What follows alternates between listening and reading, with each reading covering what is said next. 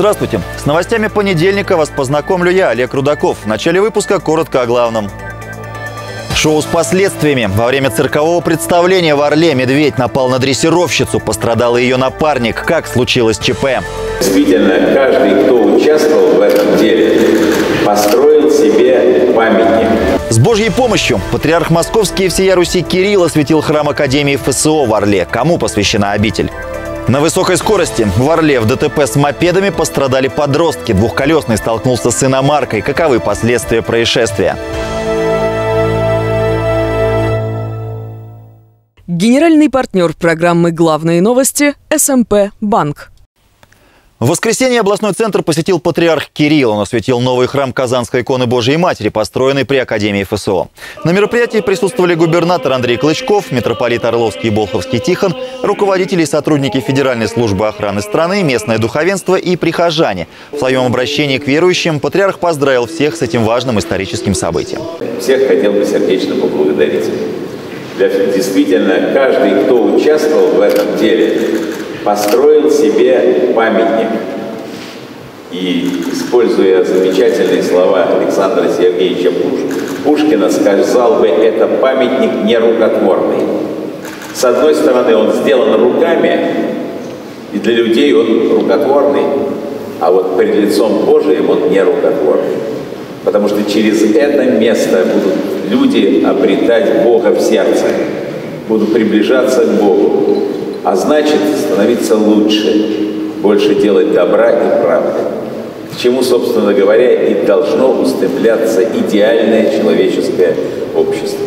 Напомню, храм Казанской иконы Божьей Матери заложили в 2007 году. С 2011 по 2017 строительство приостанавливалось из-за недостатка финансирования. В 2019 все работы по возведению и благоустройству храма были завершены. Цирковой номер едва не оказался смертельным для дрессировщицы и ее партнера. В Орле на арене Шапито случился опасный инцидент, в котором серьезно пострадал укротитель. Его атаковал медведь. Чтобы спасти артисту руку, орловские хирурги работали 6 часов подряд. Подробности необычного ЧП у Ивана Суверина. Из-под циркового шатра слышатся звуки репетиции, а в кассе бойко продают билеты. Стало быть, воскресное представление состоится. Но вот будут ли в программе «Медведи», кассирша не знает. Со вчерашним ЧП в связи у вас не отменяется ничего? Представление будет? Ничего не отменяется.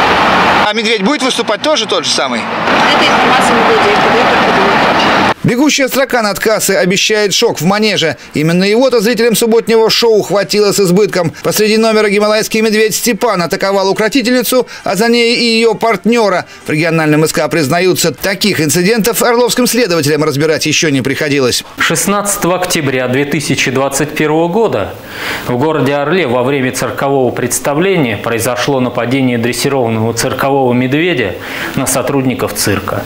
В результате этого одному из сотрудников были причинены телесные повреждения. По данному факту следственными органами Следственного комитета Российской Федерации по Орловской области организовано проведение доследственной проверки. В настоящее время проводятся необходимые проверочные мероприятия, направленные на установление обстоятельств происшедшего. По результатам доследственной проверки будет принято процессуальное решение. Подробности случившегося на условиях анонимности нам сообщил руководитель руководитель цирковой труппы. Во время номера ни с того ни с сего медведь проявил агрессию относительно дрессировщицы. Потом, когда ее стали защищать, он переквалифицировался на дрессировщика. Ага. В общем, она оделась легкими ушибами, а у него серьезная травма руки. Даже на рекламном штендере Мишка выглядит более чем внушительно, а уж в природе гималайский медведь – один из самых опасных наземных хищников планеты. С таким шутки плохи. Никаких санкций против косолапого нарушителя, заверили в цирке, не последовало и не предвидится. Медведи не наказали и даже не срезали паек. Однако от манежа мохнатый буян будет отставлен навсегда. Работать он не будет уже. То есть вы его отстраняете от представления, да? да? Ну, если, может быть, если он останется у нас, будет у нас пенсионировать Так, такое бывает. Возможно, сдадим зоопарк. Если найдем зоопарк, сейчас неохотно зоопарки принимают. Без цирковых лавров надолго останется и второй медведь, партнер того самого Степана. Номер был рассчитан на двух мишек. В этом цирке подобный инцидент случился впервые, но в целом для российской арены случай не уникальный. Только обычно распускать на манеже руки, точнее лапы, случается хищникам из семейства кошачьих. Почему взбунтовался козолапый артист? Одно предположение есть. В соседнем регионе программу с животными пришлось отменить из-за карантина. Медведи бездельничали 4 недели и, вероятно, попросту распустились. Иван Суверин, телеканал «Первый областной». Сегодня в Орловской области зафиксирован 241 новый случай заражения коронавирусной инфекцией. Выздоровело за сутки 96 человек, а скончалось трое. На выходных в прямой эфир в одной из социальных сетей вышла врач больницы скорой медицинской помощи имени Симашко. Она рассказала о ситуации, происходящей в учреждении. Нас уже которую неделю не умолкают сирены скорой помощи ни днем, ни ночью. И если раньше тотальная двухсторонняя пневмония для больниц это были редкие пациенты, это пациенты с тяжелой сопутствующей патологией, истощенные, ослабленные, то на сегодняшний день это каждый второй, третий пациент, возрастная категория от 30 до 60. Орел постарел на несколько веков. Об этом свидетельствуют артефакты, найденные археологами на месте слияния Аки и Орлика. Монета Северной Германии и гилька от весов XI века. Княжеская печать святого Николая конца XI – первой половины XII века. Все эти находки говорят о том, что на стрелке во время княжения Вятичей находился административный центр. Губернатор Андрей Клычков накануне посетил место раскопок и прокомментировал их результат некоторое время назад один юбилей, а сейчас оказывается, что Орлу или не Орлу, а другому поселению, которое было еще до крепости, э, на 400 или 500 лет больше. И э, те раскопки, которые проводились у нас на Стрелке, они сегодня подтверждают 11 э, век, 12 век. Безусловно, наверное, как каждому, кто живет в Орле, просто удивительно, что история, она расширяется, и я боюсь даже предположить, что будет, если еще дальше продолжить раскопки. Напомним, что раскопки на месте детинца Орловской крепости начались еще в 2015 году. В 20-х числах сентября этого года они возобновились под руководством научного сотрудника Института археологии РАН Олега Радюша. У нас этот год э, очень богат на находки. Это и Судбищенская битва. И Судбищенская битва была одним из вопросов, которые мы обсуждали на встрече с премьер-министром. Соответствующее поручение даны. В ближайшее время состоится встреча с министром культуры. И я думаю, что э, второй элемент нашей дальнейшей работы по увековечной памяти о восстановлении, о развитии может быть, не Орла, а просто этого места, торгового места, крепости, э, во многом будет сейчас предопределен этими находками. Накануне утром пожар в частном жилом доме привел к трагедии. Огненное ЧП случилось в селе Русский Брод Верховского района. На момент прибытия огнеборцев постройка горела уже по всей площади, обрушилась кровля. В ходе тушения спасатели обнаружили страшные последствия возгорания. Среди пожарного мусора были найдены тела двух женщин 41 и 69 годов рождения. Выяснить причины рокового случая предстоит экспертам испытательно-пожарной лаборатории. А вечером пятницы в северном районе города Орла зафиксировано ДТП с участием несовершеннолетних. Мопед столкнулся с иномаркой на автомобильной стоянке ТРЦ «Рио». Обоих седаков двухколесной машины забрала скорая. Наш спецкор Иван Суверин с места происшествия. Последствия ДТП для его участников распределились согласно весу и классу машин. Владельцу Рено Дастер предстоит косметический ремонт капота и бампера, а вот водителя и пассажира мопеда придется латать уже врачам. Автомобиль «Дастер» двигался по прилегающей территории Московское шоссе 175, где произошло столкновение с мопедом «Альфа», который приближался слева. В результате ДТП пострадал водитель мотоцикла 14 лет и пассажир 15 лет. Оба доставлены в медицинское учреждение. По словам инспекторов, исходя из картины происшествия, Дастер двигался не слишком быстро. Не то сорванцам на мопеде и вовсе было бы не сдобровать. Как говорит водитель Рено, юные мотогонщики не оставили ему шанса предотвратить ДТП маневром или торможением. Ехал я с той стороны, а? Макдональдс, да? Mm. А, здесь стояли мой автомобиль. Здесь автомобиль, здесь, ну, плотно стояли. А. И э, молодые люди, да, э, на мотоцикле выскочили. На перерез? На перерез, да. С левой стороны с, с моей выскочили. Угу. Вот отсюда, со стоянки. А... Среагировать, среагировать мне возможности не было, потому что машины стоят, ребята неслись. Полицейские отмечают, чтобы приблизиться к Дастеру слева, мопед должен был пересечь двойную сплошную. Но вот насколько актуальна такая разметка на данной автостоянке, пока вопрос. Кто виноват в данном конкретном ДТП, инспекторам еще предстоит понять в ходе административного дознания. А вот чего они точно не смогут понять, так это родителей, доверяющих несовершеннолетним мототранспорт. Иван Суверин, телеканал «Первый областной». Новым исполняющим обязанности руководителя Департамента образования Орловской области назначен Алексей Карлов. До этого он занимал должность директора регионального центра оценки качества образования. В ином качестве его представил губернатор Андрей Клычков на заседании правительства. Алексей Иванович имеет богатый опыт э, работы в сфере образования Орловской области. Трудится он уже более 25 лет в этой сфере, является почетным работником воспитания и просвещения Российской Федерации, имеет целый ряд наград, пройдя путь от учителя сельской школы до директора регионального центра оценки качества образования, Алексей Иванович зарекомендовал себя грамотным специалистом. Уверен, что знание и опыт Алексея Ивановича Карлова позволит ему обеспечивать эффективное решение всех поставленных перед Департаментом образования области задач. Также говорили на совещании и о реализации госпрограмм в нашем регионе, в частности в сфере АПК. По словам зампреда по развитию агропромышленного комплекса региона Сергея Борзенкова, в 2021 году меры господдержки в этом секторе составили почти 1 миллиард 400 миллионов рублей. Продолжается работа и по поддержке экспорта продукции АПК, а также начинающих фермеров и сельскохозяйственных потребительских кооперативов. Новый проект, то, что я говорю по строительству э, комплекса по производству молока в Дубовицком на 1200 голов. Здесь вопрос э, по документам терпланирования мы завершаем. Это не, не быстрый вопрос. Но, естественно, продолжим э, реализацию проекта, который на сегодняшний день пока еще в начальной стадии. Это и по Агросу, по РК Премиксу. Все эти проекты мы будем продолжать. Губернатор поручил профильному департаменту обеспечить выполнение госпрограммы, а также доведение до сельхозтоваропроизводителей всех предусмотренных средств. Наибольшие расходы в бюджете региона 2022-2024 годов предусмотрены на социально-культурную сферу. Депутаты облсовета рассмотрели проект главного финдокумента на ближайшие три года. По информации руководителя Департамента финансов Орловской области Елены Сапожниковой, общий объем доходов и расходов областного бюджета на 2022 год планируется в сумме 45 миллиардов 600 миллионов рублей, на 2023 – 47 миллиардов 600 миллионов рублей, а на 2024 – 46 миллиардов 700 миллионов рублей. Депутаты приняли решение поддержать концепцию проекта областного бюджета и рекомендовать Президиуму проект закона для рассмотрения и принятия в первом чтении. Орловских инноваторов поддерживают на федеральном уровне. Стартовал прием заявок на программу «Умник» от Фонда содействия инновациям. Программа создана для поддержки молодых людей в их научной проектной деятельности. Накануне на площадке конференции «Тургенев Digital» прошла встреча с экономическим советником Фонда содействия инновациям Анастасией Бестужевой, представителем Фонда в Орловской области Сергеем Невструевым и победителями программы «Умник» прошлых лет. Ирина Титова расскажет.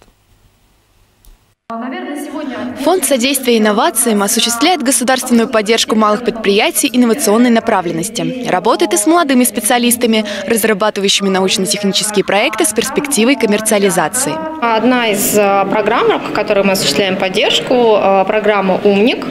Э, исходя из названия, в принципе, понятно, что мы работаем именно с молодежью, с, как я уже сказала, со студентами, аспирантами, молодыми учеными, молодыми специалистами, у которых есть какая-то идея инновационная, прорывная. Им нужна помощь, поддержка на этой стадии для того, чтобы эту идею попробовать, посмотреть, будет ли она работать, попробовать какую-то самую первую экспериментальную версию, создать самую первую экспериментальную экспериментальную версию проекта. Программа «Умник» действует с 2007 года, в нашей области с 2013. За это время она стала отличным стартом для молодых инноваторов и их научных проектов. Сумма грантового выигрыша – 500 тысяч рублей. В 2019 году победителем конкурса стала орловчанка Анастасия Данилова. Мы разрабатывали сахаросодержащие порошки натурального происхождения, которые в дальнейшем добавляли в хлебобулочные изделия. Я думаю, что это не должно стоять на месте, тем более а, сейчас в тренде правильное и полезное питание, и оно должно развиваться и идти в массы. Фонд содействия инновациям активно сотрудничает с Орловской областью. Сергей Невстроев, представитель этого фонда в нашем регионе, надеется, что как можно больше молодых орловских инноваторов получат государственную поддержку своих идей и проектов. Заявки принимаются до 15 ноября 2021 года. А, заявки принимаются по шести направлениям. Это IT-технологии, это новые приборы, новые материалы, биоинженерия, а, а также это ресурсосберегающая энергетика. Финал, на котором определится победитель, пройдет в начале декабря. Оценивать научно-технические разработки будут бизнес-эксперты и представители власти. Ирина Титова, Андрей Погосян, телеканал «Первый областной». Получить надбавку к зарплате или 250 тысяч рублей на открытие собственного бизнеса. Все это стало возможным благодаря реализации программы «Социальный контракт». Амчанка Ольга Панкратова решила воспользоваться этой возможностью и вплотную заняться любимым делом, а именно тренерской деятельностью. С героиней познакомилась Анастасия Гришина. Может показаться, что съемочная группа Первого областного просто приехала снять одно из фитнес-занятий, если не знать всех нюансов. А, например, тот, что это яркий пример реализации социального контракта. И таким он тоже может быть. Сама Ольга в сфере фитнеса уже давно тренирует много лет. Вывести на качественно новый уровень свои занятия смогла благодаря участию в социальном контракте по направлению предпринимательства. Путь к мечте оказался вовсе не тернист. Во-первых, я собрала все документы, потом мне дали бизнес-план. В этом бизнес-плане э, я должна была указать именно, что мне нужно для моей деятельности, э, как, какое оборудование. Я должна была там все перечислить, все это показать. Ну и также э, статьи расходов и доходов указать. Новые коврики, утяжелители, боди-бар и многое другое. С их появлением возникли и новые нагрузки для посетительниц занятий. Конечно же, физические. И реализация поставленных целей стала на шаг ближе. Прошло все отлично, все прошло успешно. Я закупила именно все, что хотела. Э, теперь мои тренировки будут разнообразными, эффективными, очень интересными. Границ реализации социального контракта практически не существует. Будь то занятие фитнесом, фотосалон, столярная мастерская или даже выращивание живности. Упростить все можно, обратившись к уже готовым коробочным решениям бизнес-концепций. Я считаю, что обязательно стоит.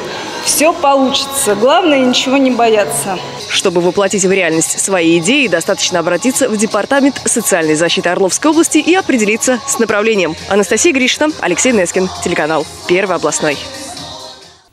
Дзюба, Головин, Миранчук – это фамилии известных российских футболистов. Но, возможно, совсем скоро к ним прибавятся новые. Ведь на минувших выходных в ПГТ «Знаменка» прошел межрегиональный футбольный турнир. Участие принимали юноши 2010 года рождения. О том, как прошли соревнования, возможно, с будущими футбольными звездами, расскажет Артем Смахтин.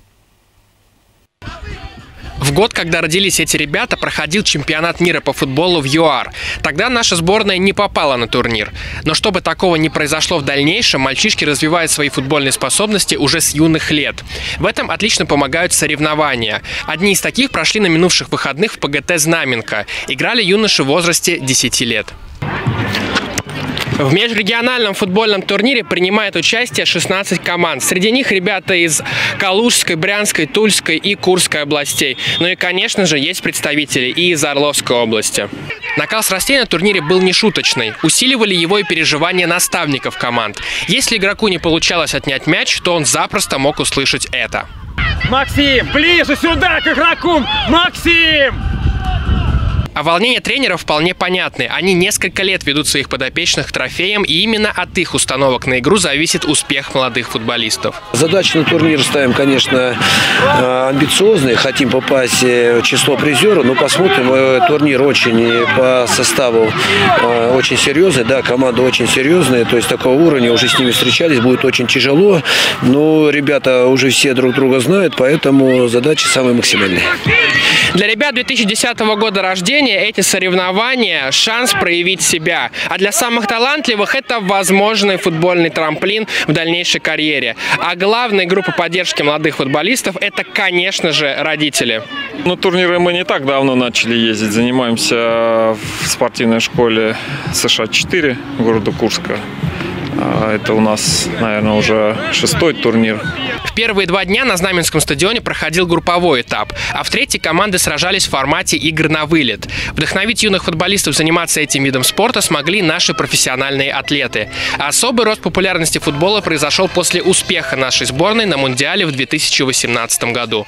После чемпионата мира начал заниматься футболом, когда 2018 год, когда Россия выиграла Испанию. Занимаюсь я уже футболом 4 года. Мой папа просто сказал э, про футбол, я заинтересовался и пошел тренироваться на футбол. Сначала плохо тренировался, а потом начал очень хорошо тренироваться. Для повышения интереса к этому виду спорта и развитию способностей ребят и создавался турнир. Главная цель – поддержка регионального юношеского футбола. В целом, я сам фанат футбола, то есть поэтому мне этот вид спорта симпатичен. Как бы от этого все и произошло. Это хорошее достаточно занятие, альтернатива интернету. Финальный день соревнований определились победители. Золото турнира удалось завоевать команде с Шор-1 из Железногорска. Награды получили и остальные команды. Как говорят организаторы, это сделано для того, чтобы ребята не теряли интерес к футболу. Но и поражения не должны его отбивать, ведь они закаляют. И, возможно, через 10 лет кто-то из участников турниров ПГТ «Знаменка» поднимет кубок чемпионата мира на Уэмбли. Артем Смактин, Андрей Борискин, телеканал «Первый областной». Подписывайтесь на нас в социальных сетях и заходите на сайт обладин.ру. Главные новости нашего региона и на Экспресс радио «Орел» на 104 FM. Эм. Выпуски по будням каждые полчаса с 6 утра до половины 12 вечера. Это все новости на сегодня. В студии был Олег Рудаков. До свидания.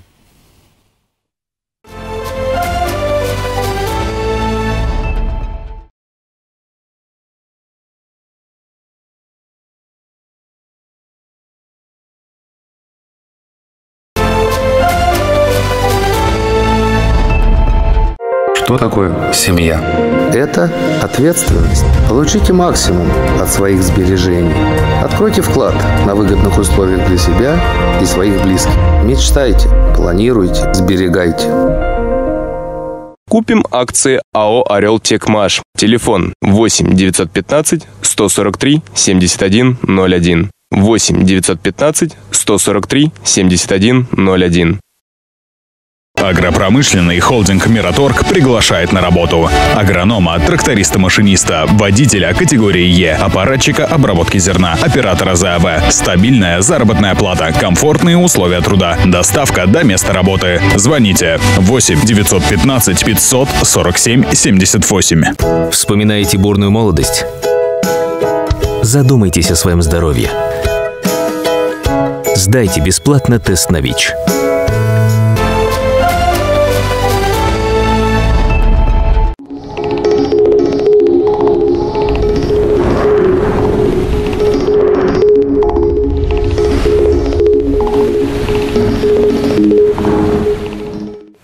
Вы смотрите прогноз погоды на Первом областном. Обо всем расскажу я, Катерина Ясная. Здравствуйте. Всемирный день балет отмечается 19 октября. С некоторых пор появилась традиция. По всему миру в самых прославленных театрах установили камеры. И в праздник ежедневные будни балетной жизни могут увидеть все желающие, например, одного из обычных репетиционных дней. Для многих это становится возможностью окунуться в настоящий мир балета. Увидеть и понять, что выход на сцену – это итог ежедневной многочасовой работы и тяжелого труда. А теперь о прогнозе в нашей области. Ко вторнику резко похолодает. В Амцинске пасмурные дожди. Воздух прогреется до плюс 4. Ночью станет в два раза холоднее, плюс 1-2. Переменная облачности в Ливнах. К вечеру дождь. Температура воздуха при этом плюс 4-6. В темное время суток в среднем плюс 2. Небольшой дождь накроет Болхов. Пасмурно 4 градуса днем. Ночью температура воздуха плюс 1. В Орле плюс 5. Серый небольшой дождь. Днем максимум плюс 4, плюс 6. Ночью на 1-3 выше нуля. Направление ветра северо-восточное со скоростью до 6 метров в секунду. Атмосферное давление 749 миллиметров ртутного столба столба, что в пределах нормы. Такой прогноз ожидается во вторник, а первый областной всегда с вами, независимо от погоды. Партнер программы «Территория семейного отдыха» «Пиксель Парк». Погода переменчива, но планы на 23 октября на 15.00 лучше составить заранее. Это событие точно нельзя пропустить. Открытие новой территории семейного отдыха «Пиксель Парк». Всем крепкого здоровья и хорошего настроения. До свидания. Мир не будет прежним. Новая галактика развлечений. Пиксель Парк. Впервые в Орле. Полигон виртуальной реальности. Лазер-тага и боев управляемых роботов. Настольные и компьютерные игры. И не только. Грандиозное открытие 23 октября в 15.00. ТЦ Модус. Ломоносова 6. Подробности по телефону 8 953 615 44 46.